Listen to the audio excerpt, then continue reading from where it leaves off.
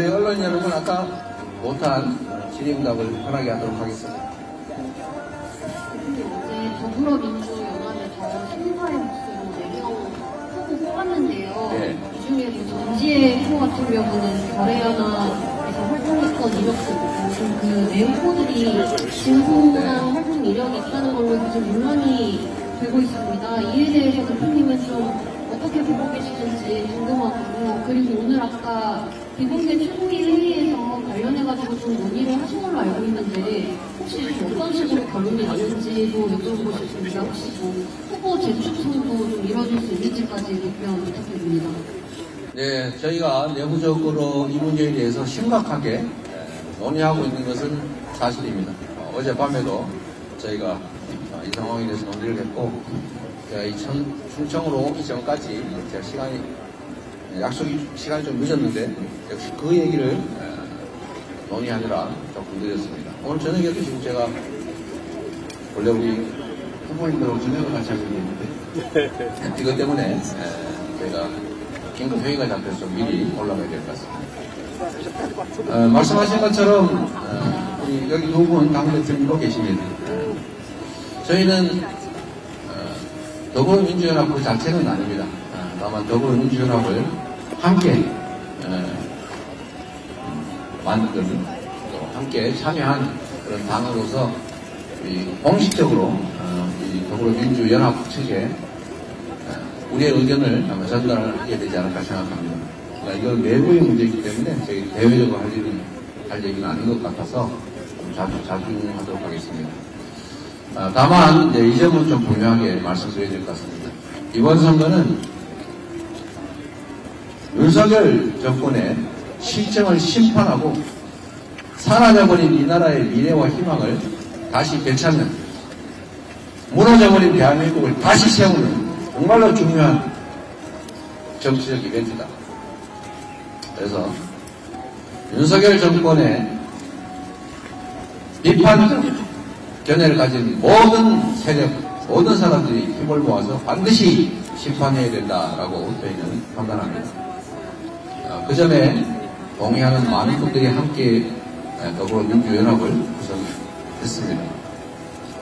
더불어민주연합에서 잘 판단하실 것으로 봅니다. 다만 저희들의 기대라고 한다면 어, 국민의 눈높이에 맞는 각자의 정치적 지향들이 있겠지만 정치는 이상과 현실을 조화시켜야 되는 현실이기 때문에 현실의 장이기 때문에 국민의 눈높이에 맞는 국민의 기대에 부합하는 합리적 의사결정, 합리적 인선이 이루어질 필요가 있다라는 점을 말씀드립니다. 이 점은 저희가 최초에 예, 그 연합비례정당을 구성할 때 아, 이미 서로 합의된 정해진 내용 중에 하나이기도 합니다.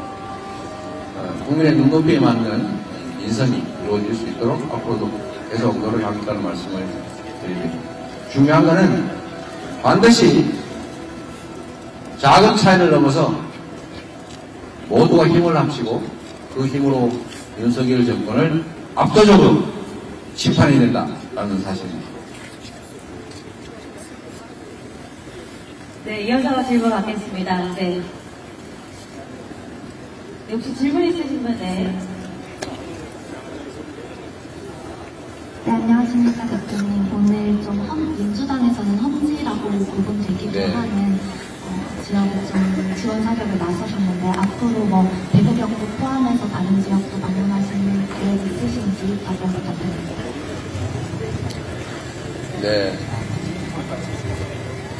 어, 대한민국이 하나의 국가 공동체이면서도 어, 지역별 편차가 매우 큽니다. 어, 제가 정치를 하면서 가장 안타깝게 생각하는 부분이 바로 그 부분입니다. 어느 지역은 그야말로 국민의 어느 지역은 민주당. 이걸 좀 저희가 극복하기 위해서 번역별 비례 제도라고 하는 것을 추진했습니다. 그리고 그 번역별 비례라고 하는 제도가 사실은 비례 의석수가 많지 않기 때문에 지역별로 쪼개지면 소수 정당이 진입할 기회가 줄어든다. 그러니 비례 제도의 취지에 맞게 소수 정당에게 특정 부분을 한해한 그런 소수정각 보호 장치를 만들어서 번역별 비례를 하자라고 했는데 국민의힘이 아주 모멸차게 이런시하게 거절했습니다. 불가피하게 우리가 지금 이 제도로 갖게 됐습니다. 그래서 이런 본- 본선도 어, 발생하고 있는 거죠.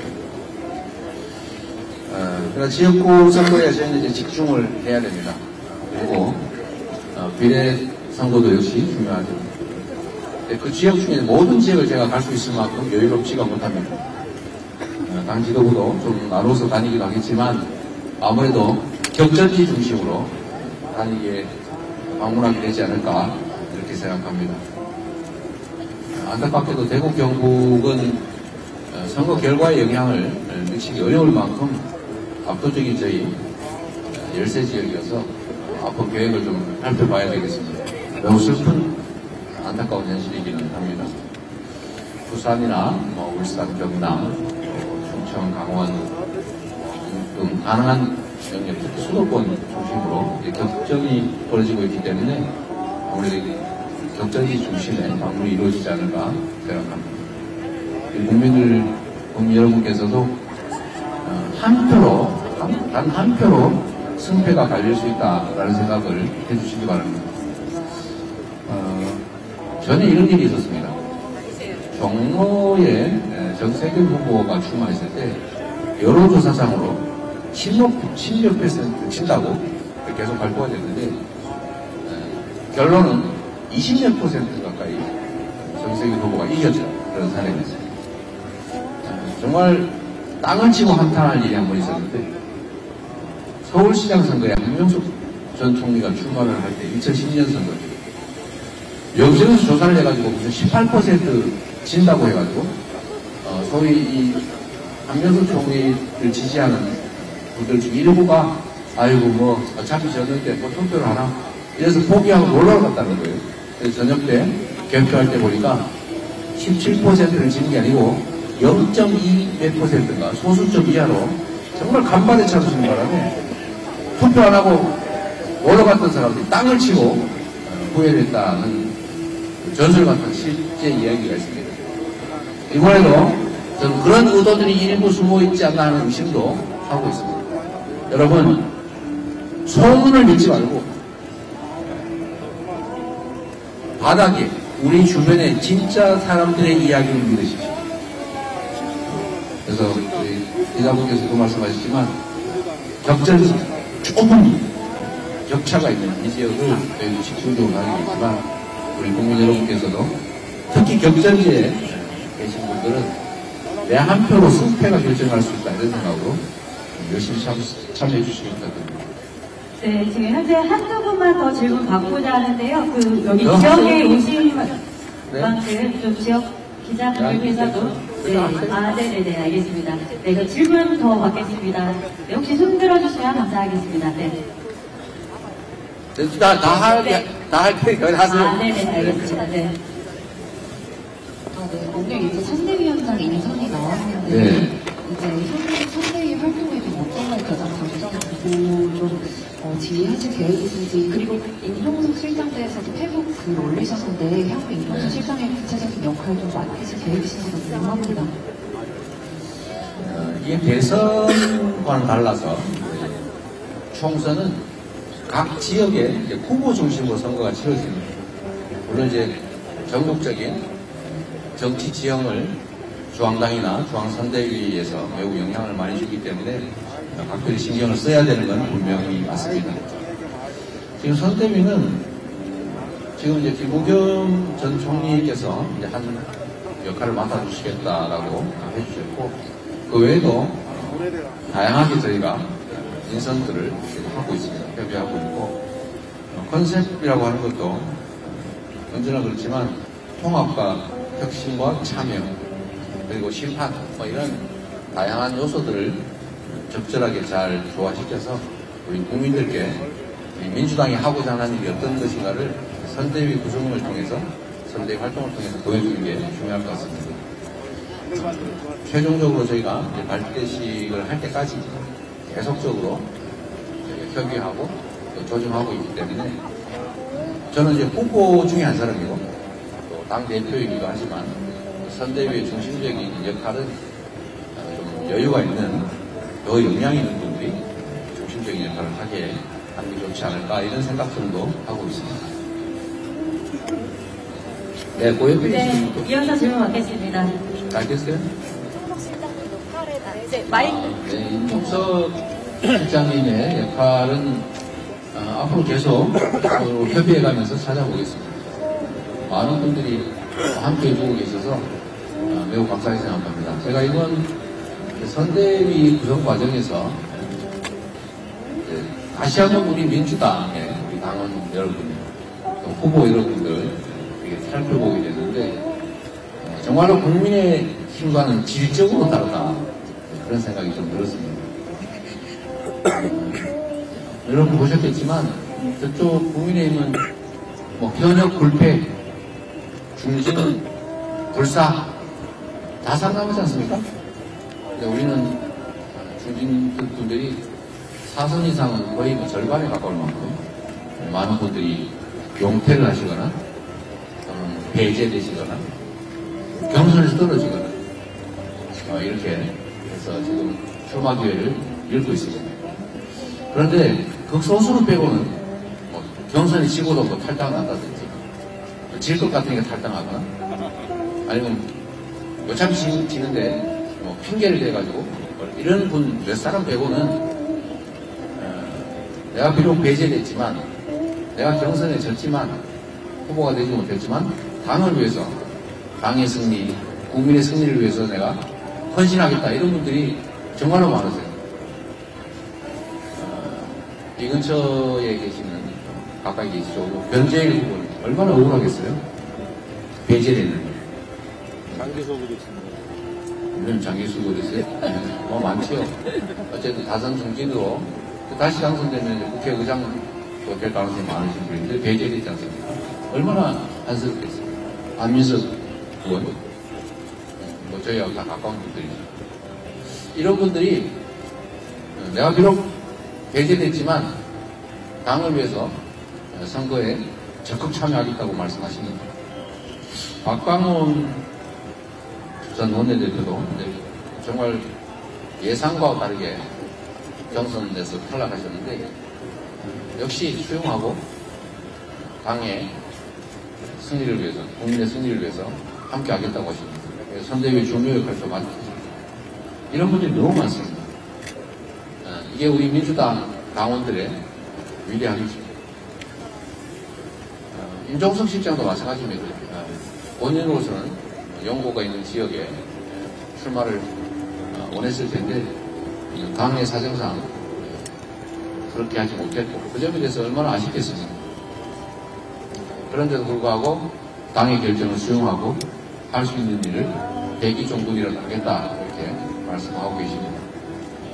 당으로서는 참으로 감사하게 생각하고 이제 다시 공천 과정에서 발생한 정말 업공자를 낳기 위한 진통, 이 진통을 극복하고 다시 또 단일 개우로 통합된 하나의 진영으로 선거를 준비할 수 있게 됐습니다.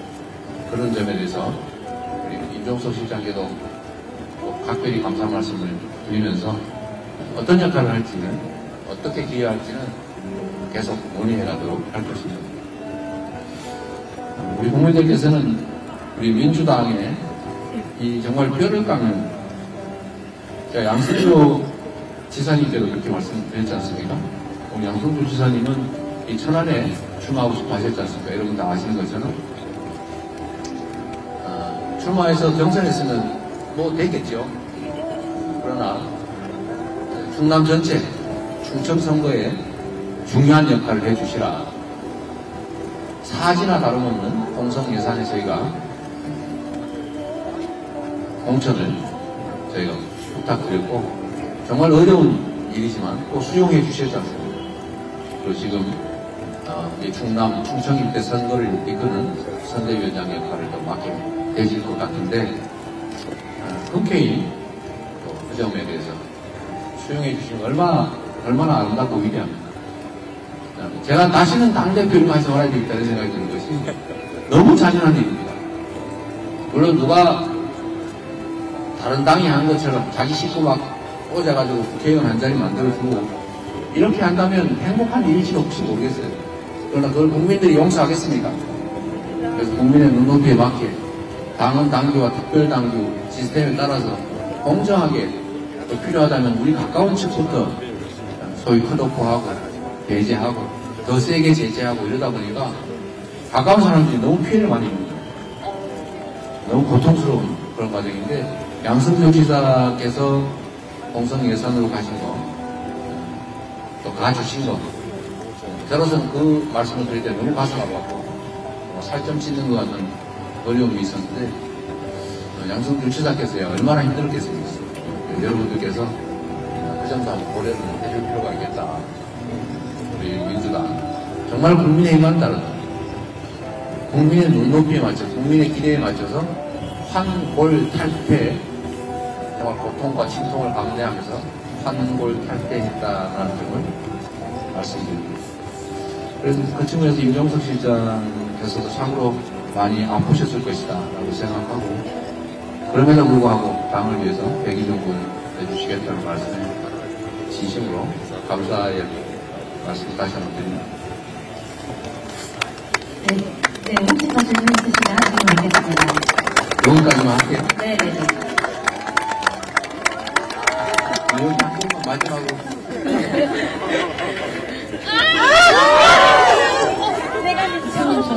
저희 후대위 구성을 이제 약간 네머즈급으로 좀 구성을 했는데 국민의힘 같은 경우는 한동훈 비대위원장 원톱으로 선대위를 구성할 게 유력해 보인다라고 해요. 그러니까 두 당이 선대위 구성에서 많은 차이점을 좀 보이는 것 같은데 민주당이 국민의힘과 비교했을 때 선대위 구성에서 어떤 식으로 좀 우위를 잡을 수 있을 거라고 보시는지 궁금하고 그리고 오늘 이제 김부겸 전 총리님도 선대위원장이 되신 건데 김부겸 전 총리님이 통합의 역할을 충분히 해주실 수 있을 것으로 보시는지 이것도 좀 답변 부탁드립니다.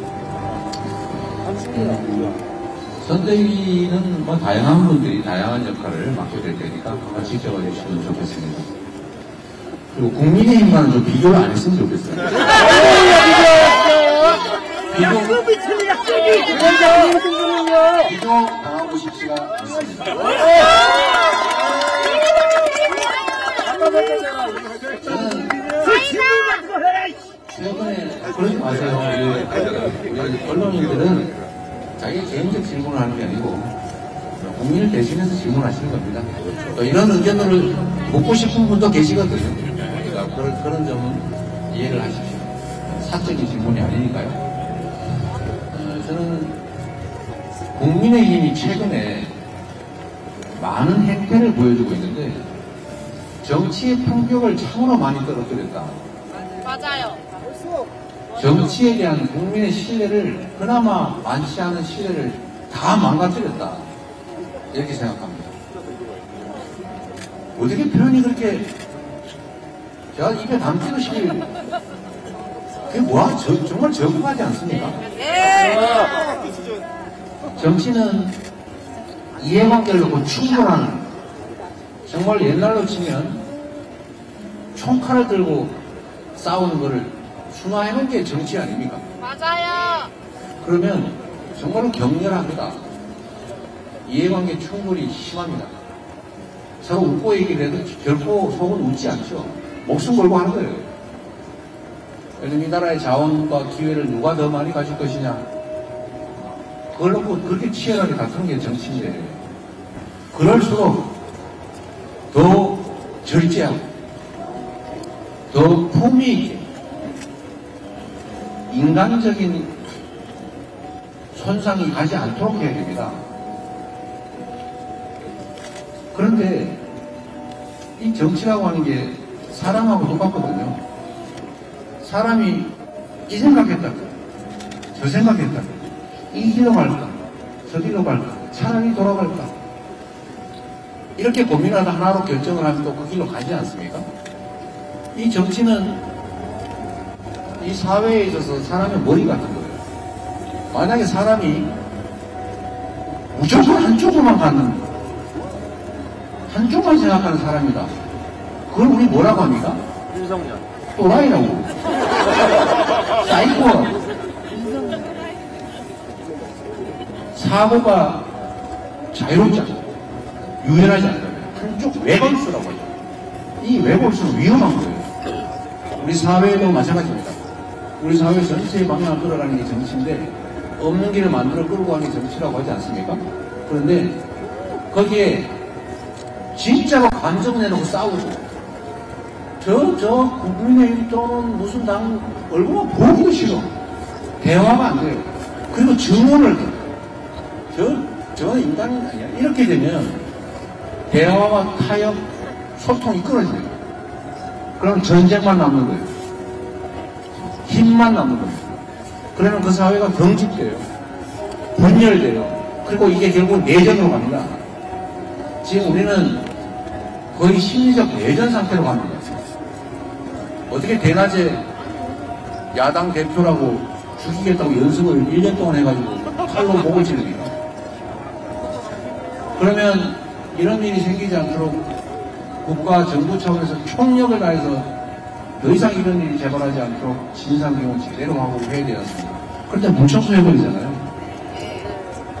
물청소에서 흔적을 없애버리잖아요. 체중도 하지 않은 상태에서. 수사도 제대로 했는지 잘 모르겠어요.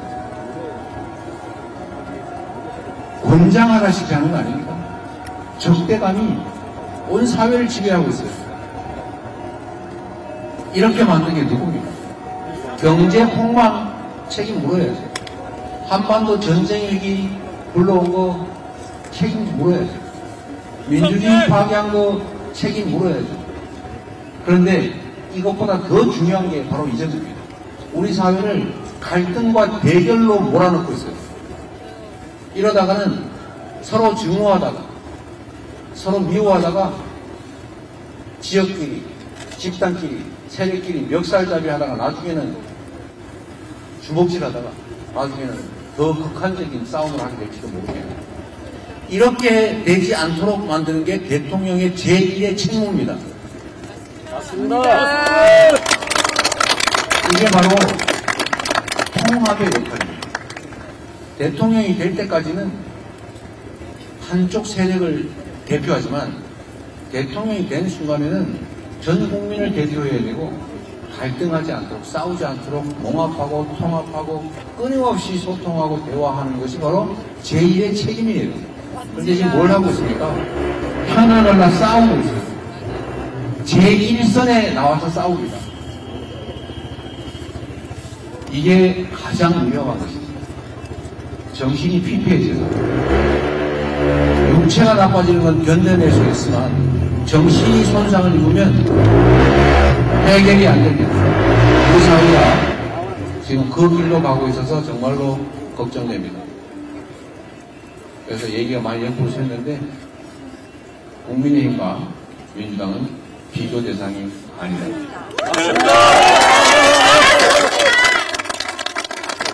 뭐 선정의 구성도 그렇지만 후보들의 한번 비교를 해보시기를 마지막으로 네, 제가 부탁을 드립니다. 우리 언론 여러분께서도 이제 공천이 거의 끝났잖아요.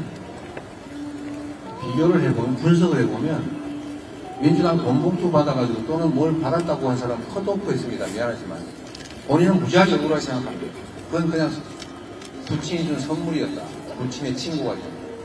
그럴 수도 있습니다. 그러나 받긴 받았지 않냐고 해서 저희가 컷오프 했습니다. 근데 봉투를 CCTV 모니터에서 받아가지고 뒷주머니 집어넣은 사람 공천하죠. 비교할 수 있지 않습니까? 그리고 우리는 막말 한마디 했다고 해서 배제했습니다. 국민들의 눈높이에 맞지 않다고 해서. 그런데 막말이 아니라 무슨 낭교를 해도 어쩌고 저쩌고. 예? 이또 히로부미는 인재다 이런 소리. 우리는 일본의 열등의식을 가지고 있다 이런 소리 아닙니까? 이런 거를 그냥 아무 생각 없이 공천 안 했어요. 우리는 정치에 또는 행정에 책임이 있는 사람 공천하지 않았습니다. 그런데 저들은 온갖 국가 정책에서 실정을 했던 책임자들 과감하게 다 공천하고 있어요. 우리는 부패나 아니면 범죄 일부러 문제되는 사람들 좀 가려내고 있습니다 사전에. 그런데 사면 공천하지 않습니까? 사법부에서 유죄 확정돼가지고 형량 형 확정된 사람 사면에서 공천해요. 그뿐입니까? 얘기를 하면 끝이 없어요. 제가 말을 하다 잊어버리고 기억을 못할 만큼 너무너무 많습니다. 그런 걸 비교해야 됩니다. 맞습니다. 고맙습니다, 여러분! 자, 윤석열 정부의 특별배트 이재명이 만난 서울 상황에서 이재명 당 대표님의 기자회견을 마치겠습니다. 함께해주신 여러분 진심으로 감사합니다. 네, 저희 마지막으로 인사드리겠습니다. 네. 화이팅!